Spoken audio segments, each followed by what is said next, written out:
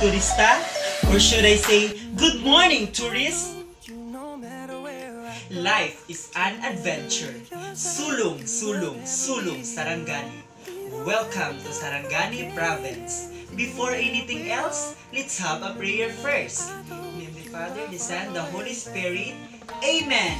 On behalf of my agency, the Troops Travels and Tours, kung sa Jollibee, bida ang saya, sa Barkada, bida ang lakwatsa. I am Meljoy Sapalaran, or you can call me MJ for short, and I will be your Guapitong tour guide for today. And beside me is our coach captain, tall, dark, and handsome, Mang Kanor. Can you say hi to Mang Kanor? Hi, Mang Kanor! Hello, Mang Kanor! Great! He is a licensed driver for almost 10 years and he will take us to our destination. Before we start, let's do the head count please. Start with you ma'am. 1, 2, 3, 4, 5, 10, 15. We are all 15 including me and our coach captain. So now, let me say a few reminders for your safety. The smile. S. Secure all your personal belongings, your IDs, bags, and etc. M. Make sure you are with a group, and if you will go, please approach me. I. Interact with other people. L. Leave the place clean. And E. Enjoy the tour, and we must keep on our mind that safety is first. Again, our reminders, the smile. You be paid 3,000 each of you, right? Well, it was included there your foods, snacks, tour guide fee, entrance fee in the souvenir for this tour. I will be distributing these name tags that corresponds your name. At the back of your name tags, there will be a mobile number. Use it in case of any emergency. You, ma'am, sir, ma'am. And also, I have here an emergency kit just in case of any emergency. We have five spots. First, Municipality of Alabel, Municipality of Malapatan, Bilmar Eco Park Beach Resort, Glan Poblacion, and Isla Hardin. I just want to remind that if I raise this blue flag and whistle once, that means you have 15 to 30 minutes to roam around and take some pictures. And if I raise this pink flag and whistle twice, that means you need to pay attention on your tour guide. And if I raise this yellow-green flag and whistle thrice, that means you need to go back to the bus. Bus number 4, color yellow. Before we go to our first destination, allow me to share the history of Sarangani Province. Before its inception in 1992, Sarangani Province was part of South Cotabato and held its title as the third district of South Cotabato. The province created by Republic Act 7728 on March 16, 1992, pinned by late Congressman James Chong Bian. You already an excited tourist? Yes, Yes, we we are! Well, me too. Our first destination would be Municipality of Alabel. Municipality of Alabel, the place became a barrio of Municipality of the Diangas, now General Santos City, on September 17, 1956, through Haji Abdawa Muhammad in Marcos Malinaw. Named Alabel in honor to the Alaba and Bildad family. On September 10, 1971, the Alabel became a municipality under Republic Act 6393. According to 2015 census, it has a population of 80,359 people. Alabel celebrate Kasadyaan Festival to give a representation of what Alabel. I checked, it's 7 a.m. and we are here now at Municipality of Alabel.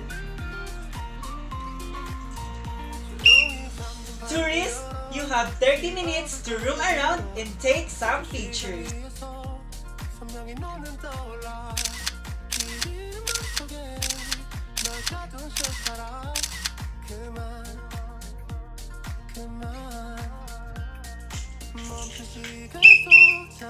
Okay, tourists, we are done here at Municipality of Alabel. Again, our reminders, the smile. So now, let's do the head count, please. Start with you, ma'am. 1, 2, 3, 4, 5, 10, 15. We are all complete. Thank you for your cooperation. Okay, tourists, we are now traveling to our second destination. Here now is the history of Municipality of Malapatan. The word Malapatan was coined by two Blaan words. Mala means paper and patan means place. It was noted that during this time, paper was abundant in this place. According to 2015 census, it has a population of 76,914 people. Malapatan celebrate Pakarajan Festival to showcase the rich of culture, tradition, and history. Time check, it's 9 a.m. and we are here now at Municipality of Malapatan.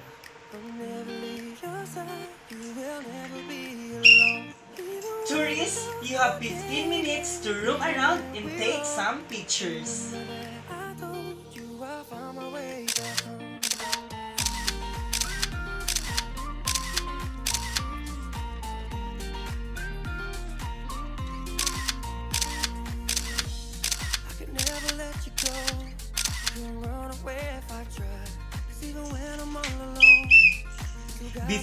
Go to our third destination, let's do the head count please. Start with you, sir. 1, 2, 3, 4, 5, 10, 15. We are all complete. Thank you for your cooperation. Since we are traveling for 30 minutes to our next destination, I prepare a games for you. Just a Q&A portion. All you need to do is to give the correct answer. And I have here the prizes. Are you all ready and excited, tourists? Yes, we are. Very good. Question number one. What festival celebrate in municipality of way. Yes, sir. Kasabian Festival. Correct. Question number two. This municipality has a total population of 76,914 people. Yes, ma'am. Municipality of Malapatan. Correct. Here is your prizes. For you, sir. This is for you, ma'am. Thank you for your cooperation, tourists. Destination is Bilmar Eco Park Beach Resort. It's definitely most visited when exploring the South. Are you an animal lover? Well, Bilmar Eco Park has a mini zoo where you can take a picture, touch the animals, but ask first before you do. Time check, it's 11 a.m. and we are here now at Bilmar Eco Park Beach Resort. I think you are hungry now, so I will give you time to relax, eat your lunch, and after that, we will do the zoo tour. No, I won't never lose. I think you're done eating your lunch. So now, we will do the zoo tour. Tourists, we have here snakes, monkeys, chicken, and etc.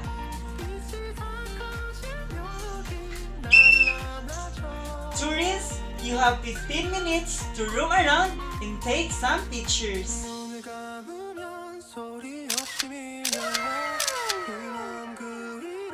Did you enjoy your zoo tour, tourists? Yes! Amazing!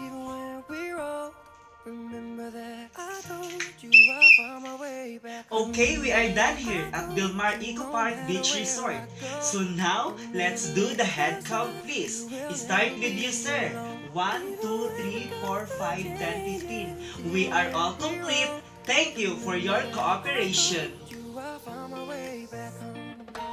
Tourists, we are now traveling to our fourth destination, the Glan Poblacion. Glan Poblacion is located on west of Sarangani Bay. It is largely based on agriculture with high level of copra. Aquaculture is the second biggest income of Glan Poblacion. Every October, Glan showcase the Lubi Lubi Festival. The faces and colors of Lubi Lubi reflects on the street and tradition. Time check, it's 2 p.m. and we are here now at Glan Poblacion. Tourists, you have 15 minutes to roam around and take some pictures.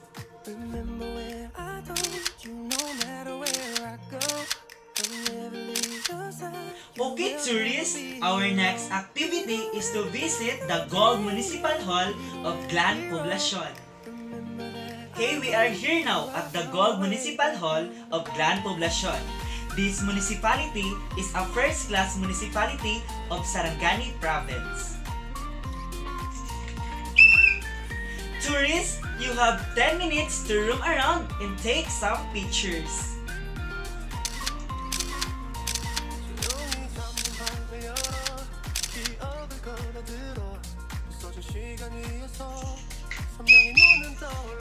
Okay, before we go to our last destination and your accommodation, let's do the head count please. Start with you ma'am. 1, 2, 3, 4, 5, 10, 15. We are all complete. Thank you for your cooperation. Okay tourists, we are now traveling to our last destination, the Isla Jardín del Mar. Isla Jardín is ideal for fun and relaxation, located in Glan area. This 3.5-star hotel commands the excellent location and provide access to Glan biggest attraction. Isla Jardín is the newest addition of Glan White Sand Beaches Resort. They have a lot of activities such as banana boat, bandwagon, and etc.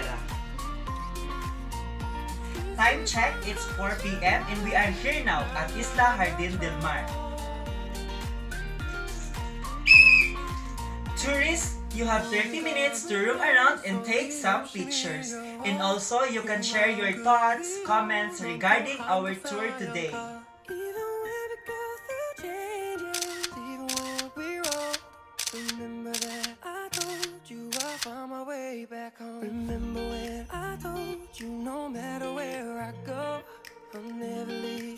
Before we end up our tour for today, please check your personal belongings, especially your IDs, bags, and etc. And I have an evaluation form that I distribute and assist my performance as your Guapito tour guide for today. At the back of this paper, we have there our contact number just in case you want an advance reservation. And also indicate there our page www.chirpstravelsandtours.ph On behalf of my agency, the Chirps Travels and Tours, thank you very much for choosing us as your travel choice. And I hope you have learned about Sarangani Province and enjoy our tour today. Again, I am Meljoy Sumalaran, together with our coach captain, Mang Kanor, daghang salamat ug sulong, sulong, sulong Sarangani.